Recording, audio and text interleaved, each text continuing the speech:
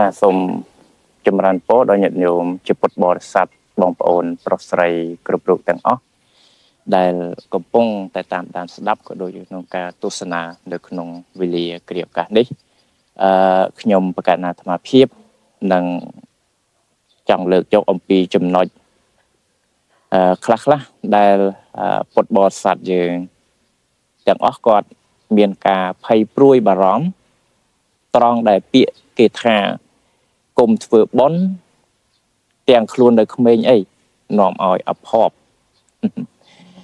អឺចំណុចទាំងអស់នេះតើវាជាការពិតឬក៏ជាការដែលគេនិយាយក្រំតែបដិទេអញ្ចឹងនៅក្នុងចំណុចនេះខ្ញុំកណាអាត្មាភាពចង់លើកយកមកសម្រាប់បញ្ជាក់ចែកជូន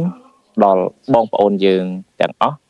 ដែលកំពុងតែតាមដានទស្សនាក៏ដូចកំពុងតែការស្ដាប់នៅក្នុងវេលាគ្រាឱកាសនេះ ថាតើការធ្វើបុណ្យពីក្មេងពិតជាអភ័ព្វអញ្ចឹងមែនឬក៏យ៉ាងណា តាមទ្រឹស្ដីនៃពុទ្ធសាសនាលោកលើកមកហើយថាបុណ្យមិនរើសវ័យទេនឹងហើយវ័យណាក៏អាចធ្វើបានដែរមិនអភ័ព្វទេឃើញទេមានតែបុណ្យទេ ដែលនាំឲ្យដល់នៅសេចក្តីចម្រើនណាមានតែបនទេ ដែលនាំឲ្យបានដល់នៅសេចក្តីសុខមានតែបនទេ ដែលអាចបញ្ជះនៅភយន្តរាយផ្សេងផ្សេងមានតែបនទេដែលនាំឲ្យយើង បានទៅកាន់សុគតិសួគ៌ទេវលោកឃើញទេលោកអត់មានលើកថាបននឹងនាំឲ្យអភ័ព្វបននឹងនាំឲ្យអប្សរី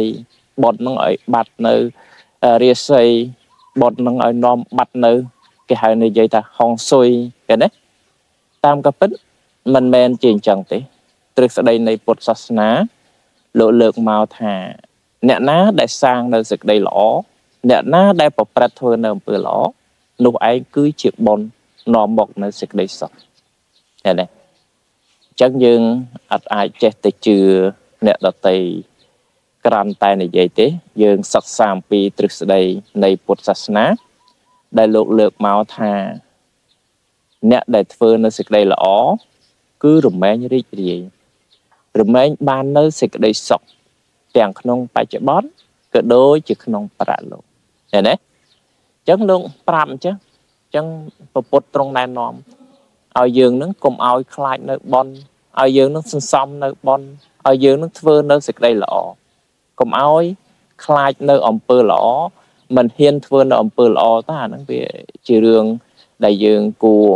និយាយថាវាអត់បននាំឲ្យមានអភ័ព្វ នាំឲ្យបាត់នៅ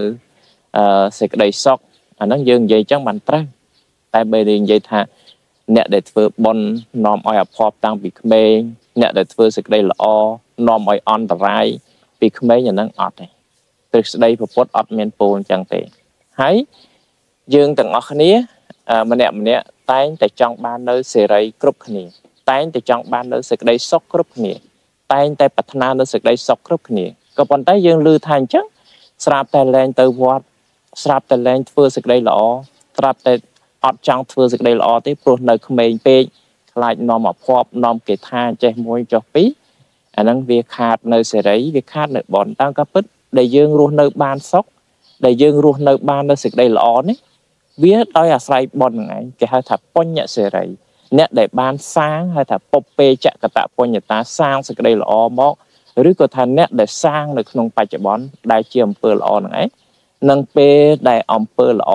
អំពើបុណ្យអំពើកុសលហ្នឹងវាបាននឹងហុចផលឲ្យយើងមានន័យថាបើយើងដាំដើមដូងដាំដើមស្វាយតាំងពីទូចមកយើងខំប្រឹងស្រោចទឹកយើងខំប្រឹងមើលថែឬក៏ផ្កាឬក៏អីផ្សេងផ្សេងយើងប្រឹងមើលថែទៅវាអត់តន់ចេញជាផ្កាជាផ្លែជាផ្កាទេប៉ុន្តែដល់ពេលយើងស្រោចទឹកយើងមើលល្អទៅ វាបានទៅជាផ្កាបានទៅជាផ្លែបានទៅជាអឺផលដែលយើងទទួលបាន មានផ្លែដូងផ្លែខ្នុរឬក៏ផ្លែស្វាយឬក៏ដើមផ្កាអីវាពូជស្រស់ស្អាតល្អអីចឹងទៅហើយយកមកទទួលទានឬក៏ធ្វើអីដែលជាប្រយោជន៍បានអានេះវាបានផលអំពីការដែលយើងមើលថែយ៉ាងណាមិញសេចក្តីល្អដែលយើងសាងពីមុនក្តីឬក៏ថាយើងសាងនៅក្នុងបច្ចុប្បន្នតាំងពីតូចរហូតដល់ធំពេញវ័យយ៉ាងណា គឺថានៅពេលដែលផលវាឲ្យគឺពូជនៃសេចក្តីសុខនឹងឯងវាផ្ដល់នៅសេចក្តីសុខឲ្យយើងអញ្ចឹងយើងចេះតែរកស៊ីមានបានចេះតែរកស៊ីមិនខាតចេះតែរកទៅចំណេញចេះតែមាននៅគ្រួសារនឹងឯងមានសុភមង្គលសុខចម្រើន នៅក្នុងជីវិតរស់នៅប្រចាំថ្ងៃនឹងឯងវាមិនក្តៅក្រហាយវាមិនមោម៉ៅវាមិនបាត់នៅអីគេវាមិនបាត់នៅសេរីគឺបញ្ញសេរី គឺបុណ្យកុសលដែលយើងបានសាងហ្នឹងឯង វាអត់មានអភ័ព្វទេណាព្រោះយើងកុំខ្លាចអញ្ចឹងបានពពុទ្ធព្រះអង្គសម្ដែងថាមនីភិក្ខុទាំងឡាយអ្នកទាំងឡាយកុំខ្លាចបុណ្យពីព្រោះថាបុណ្យនេះឯងគឺជាឈ្មោះនៃសេចក្តីសុខណាហ្នឹងគឺពពុទ្ធព្រះអង្គសម្ដែងថាសុខហ្នឹងមិនមែនសុខត្រឹមតែបច្ចុប្បន្នទេសុខសុខរហូតទៅដល់នឹងប្រះនិព្វានណាដែលយើងនិយាយបរមបរមសុខសុខរដល់ប្រះនិព្វានអញ្ចឹងសេចក្តីល្អការធ្វើនឹងឯងគឺគុំគិតអ្នកណាគេថា អភ័ព្វយើងគុំចេះតែជឿគេអីយើងគួរតែសិក្សា ស្វែងយល់អំពីទ្រឹស្ដីនៃពុទ្ធសាសនាឃើញទេបើសិនណាជាយើងធ្វើបន់នាំឲ្យអភ័ព្វធ្វើបន់ឲ្យនាំឲ្យនេះគឺថាដូចជាសម័យនាងឧបាសិកាវិសាខាអីគាត់ធ្វើបន់តាំងពីអាយុ7ឆ្នាំគាត់បានសម្រេចសោតាហើយគាត់មានសទ្ធាជ្រះថ្លាក្នុងពុទ្ធសាសនា គាត់តែមានចង្រៃអីគាត់ហើយគាត់មានកូនច្រើន មានទ្រព្យសម្បត្តិច្រើន មានប្តីជាទីស្រឡាញ់មានឪពុកក្មេកអីហ្នឹងក៏គាត់បាននាងឧបាសិកាវិសាខា ដឹកនាំឲ្យពុកក្មេករហូតដល់បាន មានការស្ដាប់ធម៌អីចឹងខ្លះដែរឃើញទេនឹងឲ្យមានការយល់ទៅ នៅក្នុងជីវិតរស់នៅ គ្រួសារដែលមិនល្អមិនបានជឿពុទ្ធសាសនាណាតែនាងវិសាខាអាច